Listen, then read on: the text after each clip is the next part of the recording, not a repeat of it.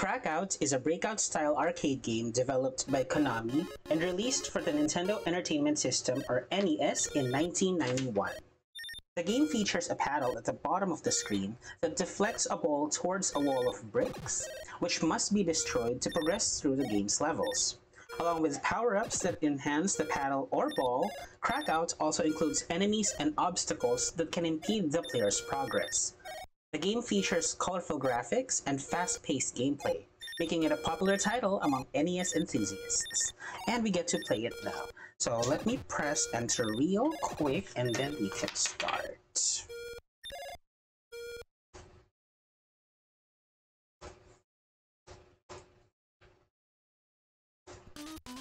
Alright.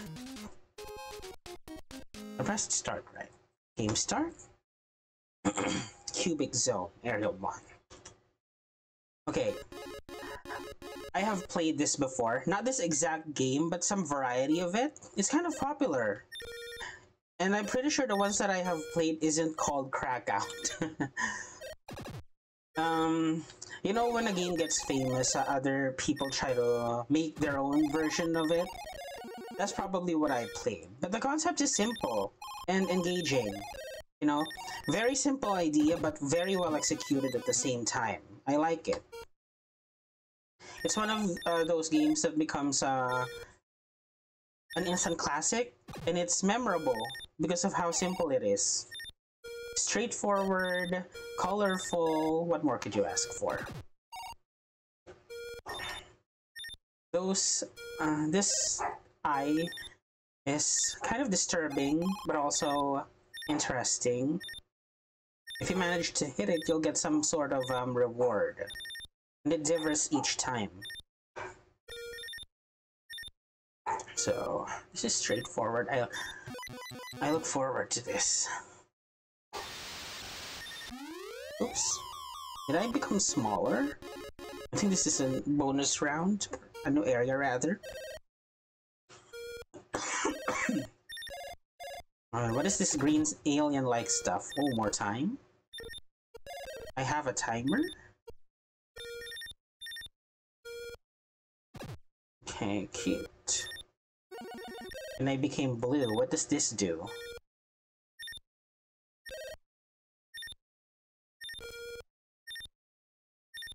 Okay. It's like playing volleyball with myself.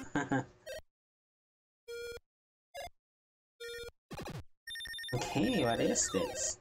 I became pink.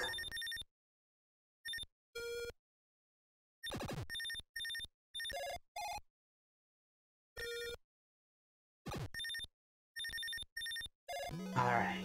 Cleared. Ooh. I like the colors.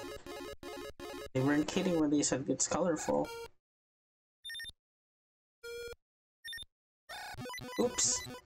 Okay, this one I need to make sure it hits a specific spot.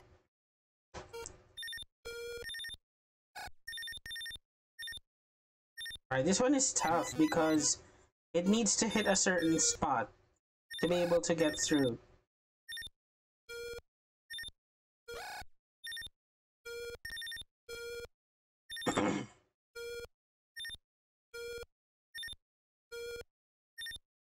yes, almost there. How am I able to... How am I supposed to hit those um, colorful... Finally. Alright. Woo! nice.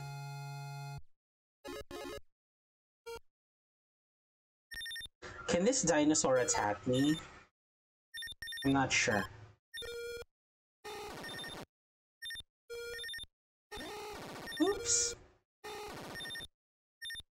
It's like bulky. I need to hit it several times. For some reason it's not attacking me, it's pink now.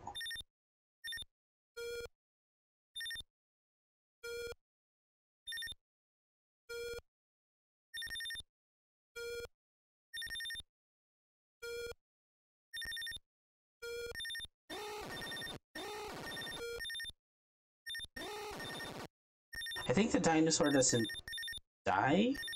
It's just there? Oh, it does die. It's just very bulky. Now we just have to hit this last remaining brick.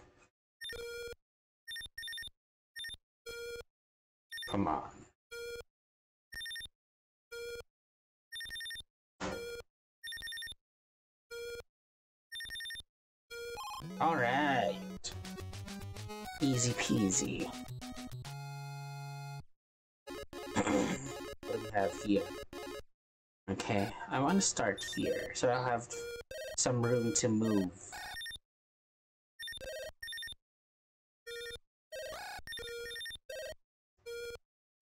I'm sure there's a lot of variations of this game even up to this day because of how successful and simple the formula is.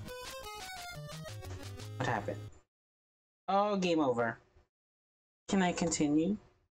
I can! Sweet, I get to keep my progress. I'll start here again.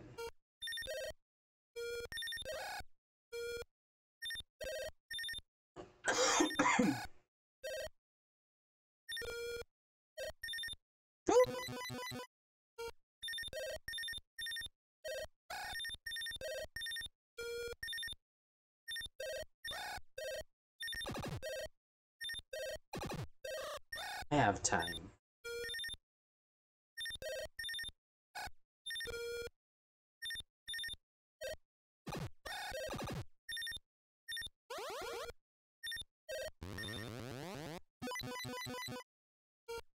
To see what that rocket does.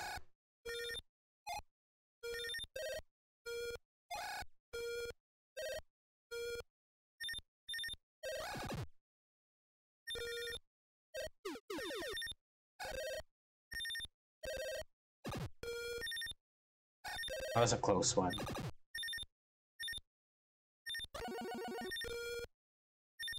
Is it just me, or does the ball fall at the same time as those, um...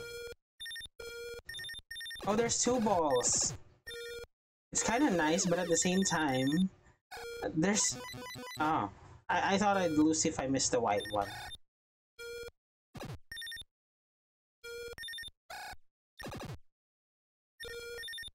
I thought it was a high risk, high reward kind of thing. Wherein I have to uh, keep track of two balls. Not really. I assume these green ones would uh, kill me on contact. Area 106. Oh, there's two of these uh, very bulky dinosaurs now.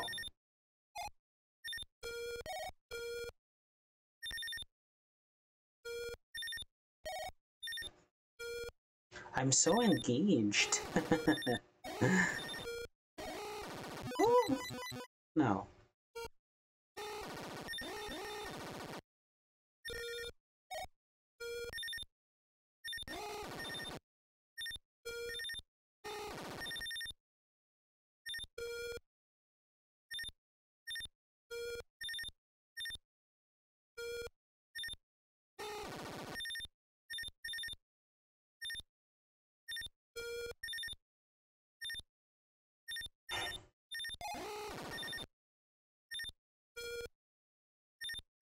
Okay, so a little uh, physics knowledge would really get you through this game because as intuitive as it is to follow the ball, it could easily change course once it hits something.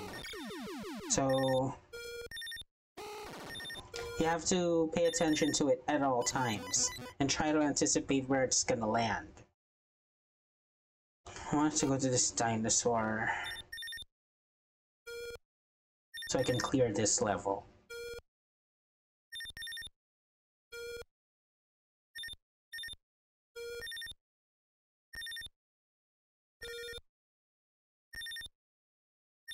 It's like billiards. My comparisons. First volleyball, now billiards. But you get the point. This level is challenging because there are some low ones. I have to be careful where I send the ball else I won't have enough time to respond.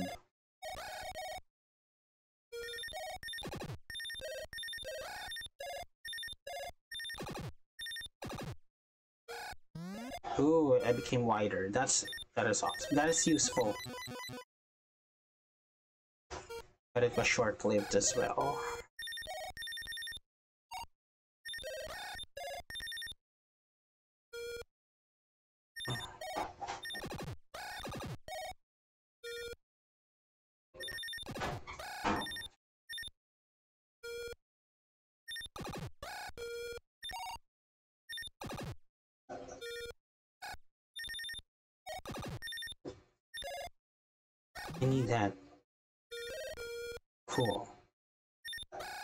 More. Yes. And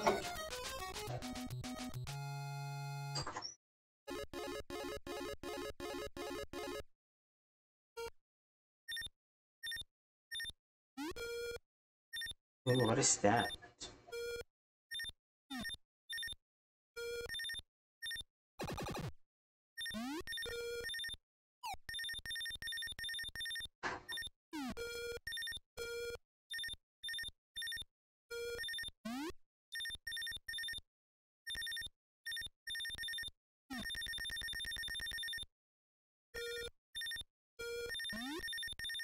Alright, we're, we're making progress.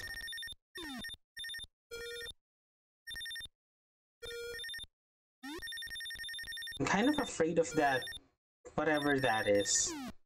That kind of vent looking thing.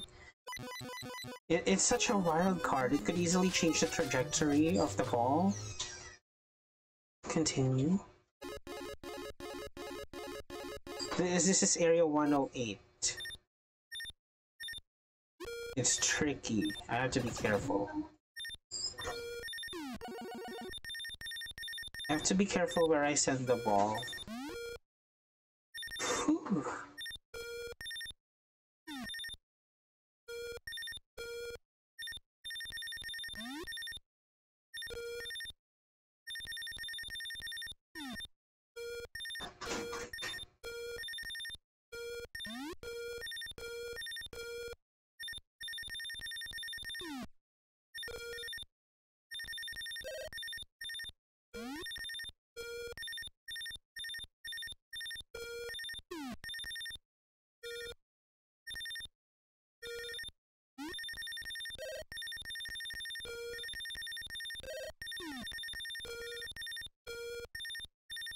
Keeping up.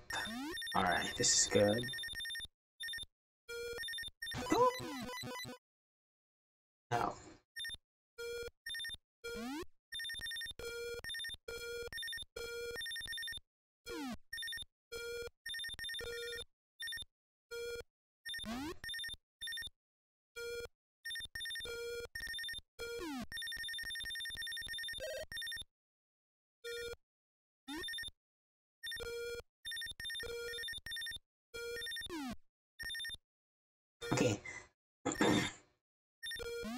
Played a variety of this game, but not this exact game, so I do not know how many levels there are, and with which level is the hardest. This is already tricky. And I'm sure it's gonna get harder along the way. Jesus, that was close. That was just wasteful.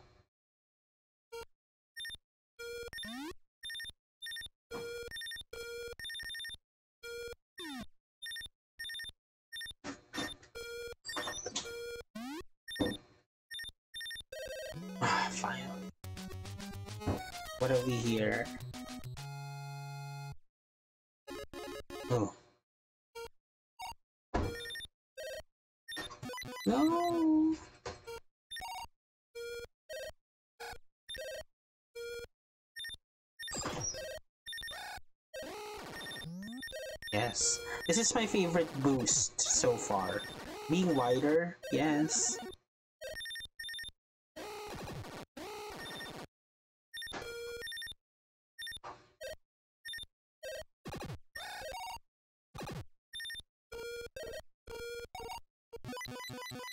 It turns out I lose the other boosts if I get another if I get a new one.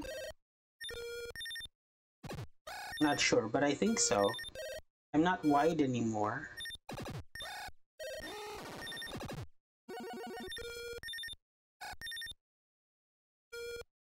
Or am I? I'm not sure.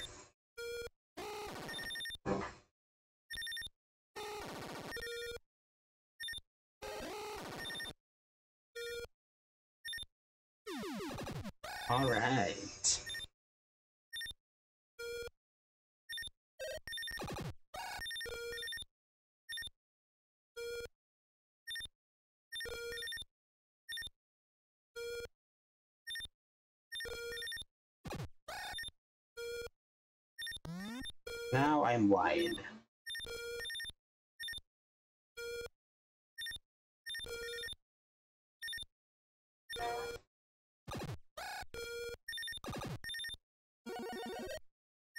Alright, it is confirmed. I do lose my previous boost if I get a new one. The ball is faster? no! I was so close! I was so close. There was just one left.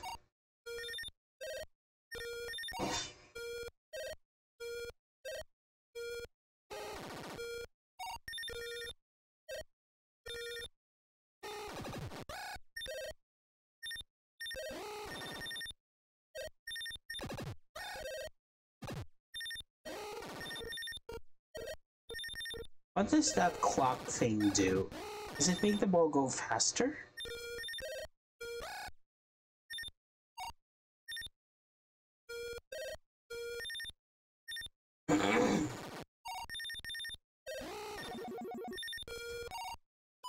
Oops.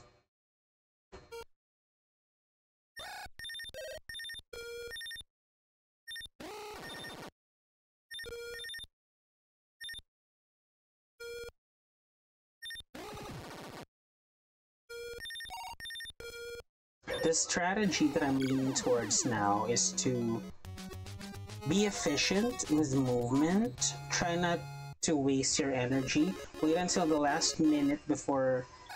Hello, how am I supposed to do this? It... All the bricks are encased. I'm sorry, what?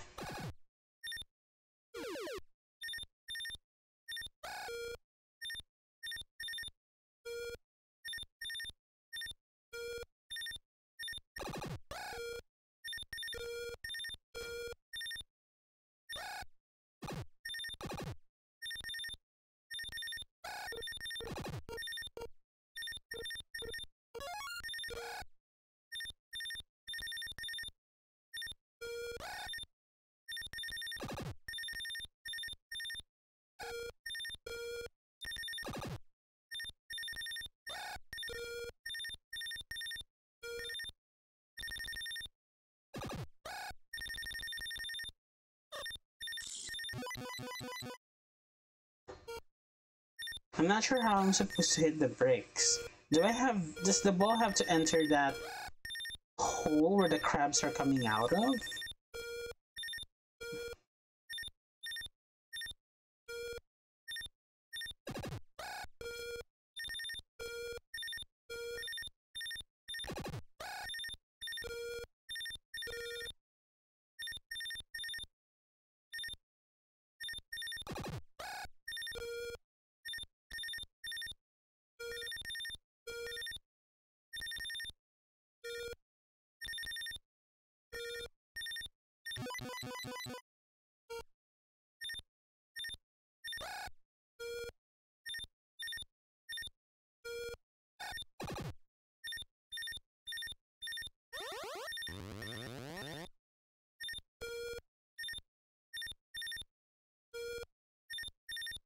That's what the rocket does, it doesn't even like destroy the stones.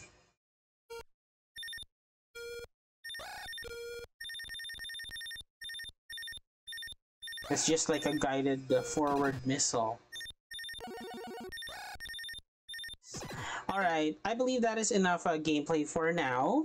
And for more NES games, check out retrounit.com.au. See you in the next video. Goodbye. Thanks for watching.